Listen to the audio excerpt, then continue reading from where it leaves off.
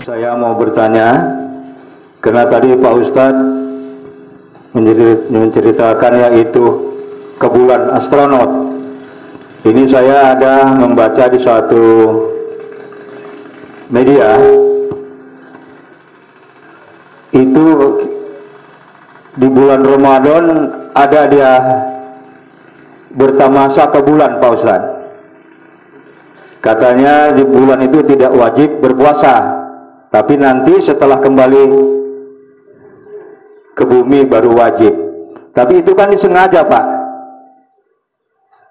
Jadi kalau yang disengaja itu kan tidak bisa di, diganti katanya kan gitu kan Pak, kalau sengaja.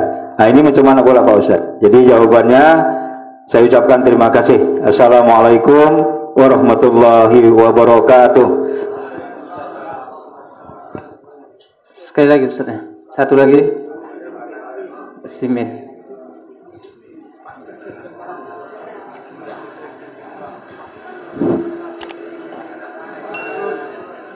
Assalamualaikum warahmatullahi wabarakatuh. Nonton film India ceritanya percintaan. Nonton film Mandarin ceritanya Cina ngamuk. Waktu muda pacaran begadang semalam suntuk sampai-sampai bibir pun digigit nyamuk. Zaman dulu Pak Ustaz lah gelap-gelapan, nyamuk banyak. Jadi begini Pak saya sebelum sholat itu kan di Masjid Nuruda, saya duduk, kawan buka kaset, apa namanya, baca Quran itu kan, saya kok dengar di situ ada kalimat gini Pak Ustaz, barang siapa yang menyakiti hati hambaku, kata Allah, maka dia akan kuberi hajat. Nah, Pak Ustadz, saya pernah pergi ke Aceh, ada seorang wanita menangis di samping saya. Saya tanya kenapa menangis. Rupanya dia diceraikan sama suaminya. Dulu di Jakarta dia bahasa. Kenapa bercerai? Dia bilang suamiku pacaran aja pak. Jadi dicerai. Oh begitu. Udah lima tahun yang lalu itu pun katanya pak. Masih teringat sakit hati dulu pak. Jadi saya pikir-pikir pak. Quran tadi dijelaskan barang siapa yang menyakiti hati hambaku maka akan kuberi hajat benar itu kan wah suami ini kena aja tapi suami punya dalil pak suami boleh punya istri dua atau tiga nah saya tanya sama, sama tuan tadi katanya macam mana pak kalau gitu ya dinikahkan karena kalau gak dinikahkan dia akan terjadi perjinahan semua punya dalil nah, jadi saya, tanya sama Pak Ustaz Pak Ustaz ini Pak kira-kira pendapat Bapak bagaimana Pak kalau saya dalilnya dalil nggak tahu aja pak, maka tanya itu bagaimana pak. Nah itulah pertanyaan saya Pak Ustaz. Demikian saya sudah Assalamualaikum warahmatullahi wabarakatuh. Baik baik. Jadi yang pertama ini memang pertanyaannya yang unik. Ya kan Bapak ini pernah baca gitu Pak ya. Di mana tadi Pak? Di koran ya kan? Bahwasanya ketika Ramadan nanti mau bertamasyalah tadi itu ke bulan.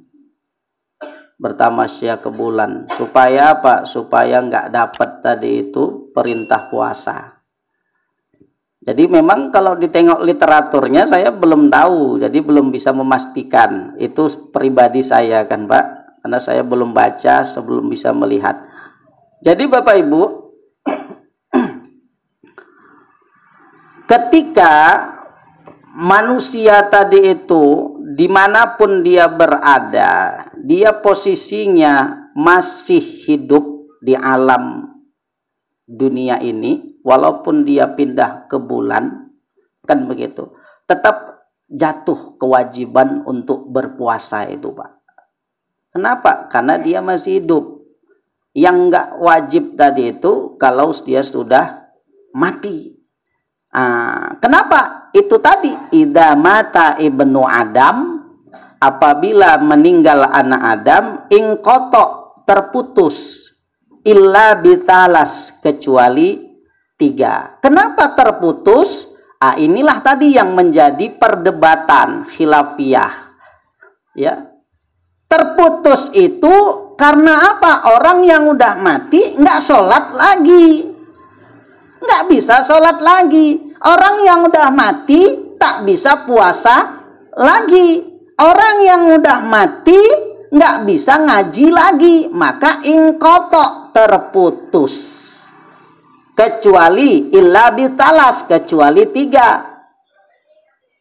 Sodakotun jariyah al ilmu yuntafa'um bih. Baru yang ketiga waladun solih yad'ulah. Doa dari anak yang solih yang mendoakannya berarti kalau dia mendoakannya dia masih hidup kalau dia udah mati, dia nggak bisa mendoakan lagi. Ah, maka Pak masih tetap ada kewajiban Pak, walaupun nanti dia nyampe ke bulan. Ya Pak ya, ini yang pertama. Bapak yang belakang awak ini memang kalau aku ceramah di FKSMM dia nggak pernah absen. Bukan hadirnya ngasih pertanyaan. Pakai pula tadi itu dalil ya. Dalilnya apa? Ustadz ada perempuan jumpa di Aceh lima tahun lalu Pak ya. Lima tahun lalu. Dia diceraikan sama suaminya. Sebenarnya udah ada jawaban Pak. Nggak apa-apa adik diceraikan sama suami adik. Masih ada abang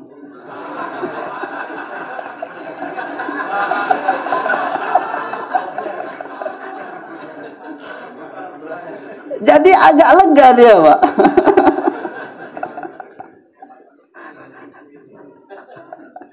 ah, jadi dalam kajian Islam gini, Bapak Ibu. Jadi sebenarnya, Bapak Ibu, dalam Islam tadi, laki-laki itu boleh dia menikah lebih dari satu. Kalau bahasa kita namanya poligami perempuan nggak boleh. Kenapa nggak boleh? Kalau bahasa kita namanya poliandri, nggak boleh. Kalau laki-laki boleh. Makanya di Padang tuh bilang dia, udah, ya, buyuang di sana udah, istrinya duo. Ah biasa dua itu. Udah di sana dua, udah di sana dua, dua biasa Buyuang di sana tiga istrinya. Wah, tiga. Tiga biasa. Tiga tangguang lah dia bang. Ampe sunnah Rasul katanya. Ampe sunnah. Jadi kenapa kok tadi itu dalam Islam laki-laki dibolehkan, perempuan tadi itu dilarang?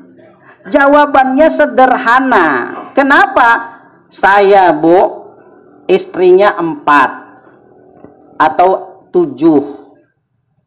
Ya tujuh lah dulu. Atau enam lah tuh tujuh lah ya kan? Satu dua tiga empat lima enam tujuh. Ini malam Senin. Malam Selasa. Malam Rabu. Malam Kamis. Malam Jumat. Malam Sabtu. Malam Minggu. Balik lagi malam Senin di situ. Jadi tujuh ini Bapak Ibu mohon maaf hamil dia tahu anakku. Tapi kalau perempuan suaminya lima. Suaminya lima. Suami pertama suami kedua suami ketiga suami keempat suami kelima. Hamil ibu anak siapa? Begitu oe oe oe wah pesek. Iki anakku iki pesek Eh kan? Rupanya satu lagi bilang, nampak, wah kulitnya hitam. Mohon maaf hitam. Ah, yang hitam dari yang kita berlima ini cuma aku, berarti anakku ini. Jadi susah nanti tak tahu di mana nasabnya. Itulah aturan dalam Islam itu tadi.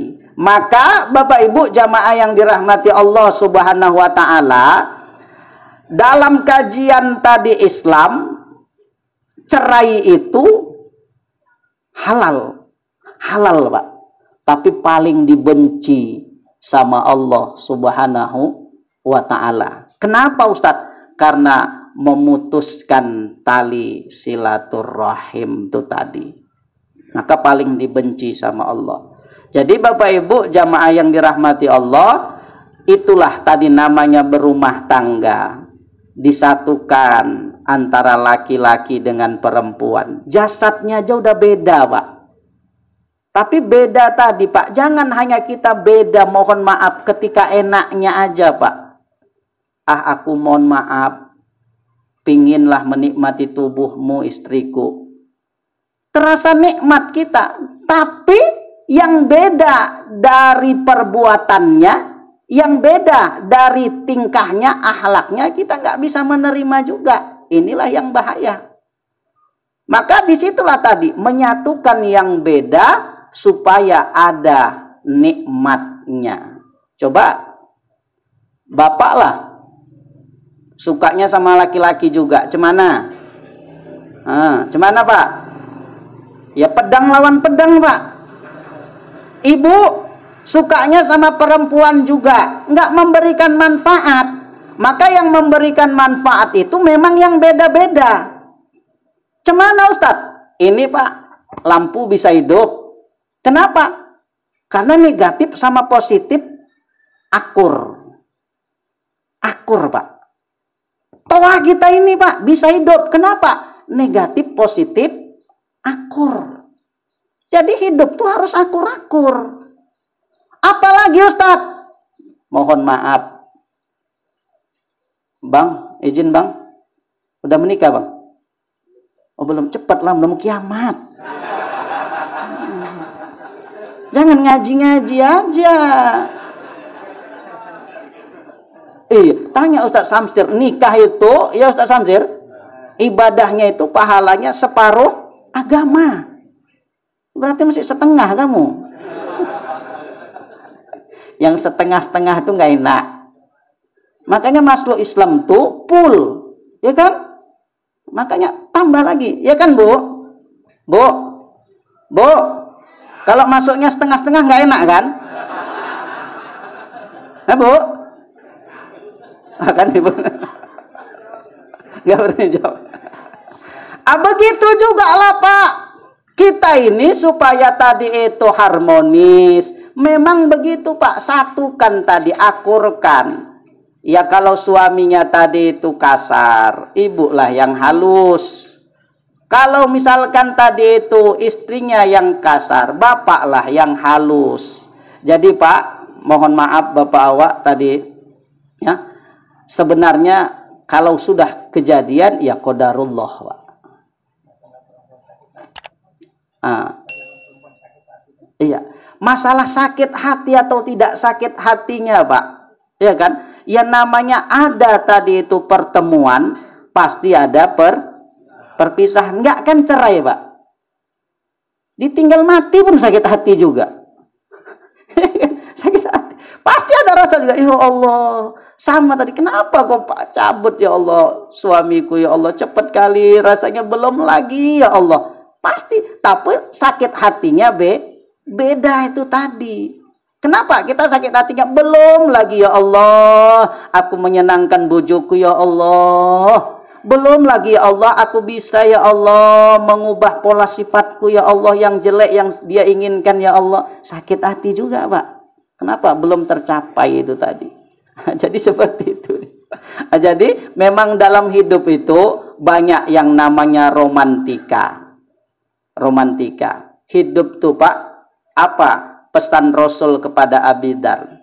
Wahai Abidar, perbaiki perahumu Kenapa lautan itu sangat dalam? Artinya apa Bapak Ibu? Dalam bahtera rumah tangga yang kita jalani ini, setiap masalah itu harus kita hadapi. Jangan nggak kita hadapi. Belajar kita dari perahu Pak. Kita masalahnya kan Pak masih Senin Kemisnya kita. Senin Jumat. Tapi perahu itu Pak, tengok tiap hari di Pantai pun dia kena goyang juga, Pak. Apalagi di tengah. Tapi karena dihadapinya, Pak. selamat dia.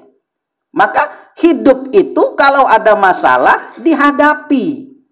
Jangan tadi itu dipendam. Kalau dipendam-pendam sakit, dihadapi Pak. Bismillah kan, insya Allah pasti barokah hidup kita Pak. Ya. Jadi Pak memang solusinya tadi Pak. Tapi sayang udah lima tahun lalu. Kalau misalkan semalam Bapak bilang aku nggak apa-apa lah jadi saksi.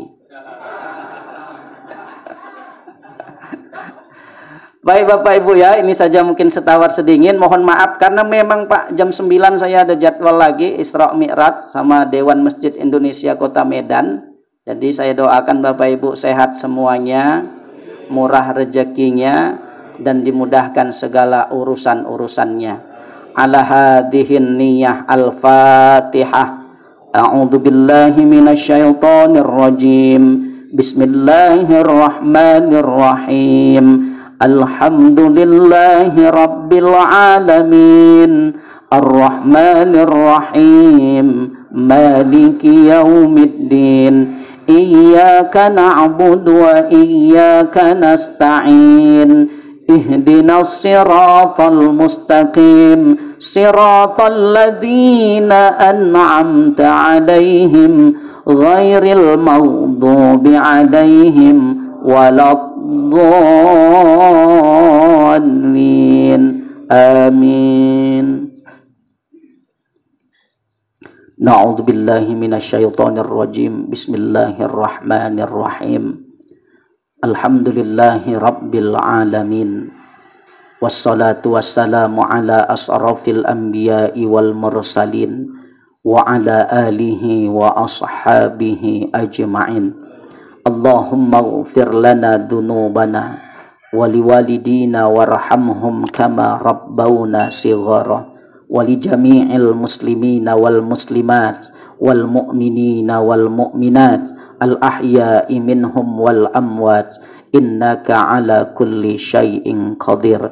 اللهم نور في قلوبنا يا الله قلوب الاستقامة ونور أعمالنا ونور عقلنا ونور في بيتنا. Desa Saimencerim dan desa Kultalim Baru dan sekitarnya ya arhamar rahimin. Allahumma barik lana fi sa'ban wa ballighna ila Ramadan. Rabbana dhalamna anfusana wa illam taghfir lana wa tarhamna lanakunanna minal khasirin. Rabbana hablana min azwajina qurrata a'yun waj'alna lil muttaqina imama rabbana atina fid dunya hasanah wa fil akhirati hasanah wa qina adzabannar walhamdulillahi rabbil alamin Bapak Ibu ini saja mungkin setawar sedingin lebih kurang mohon maaf. Doa terbaik saja Bapak Ibu sehat murah rezeki dan selamat melaksanakan ibadah Ramadan ke depan. Assalamualaikum warahmatullahi wabarakatuh. Waalaikumsalam.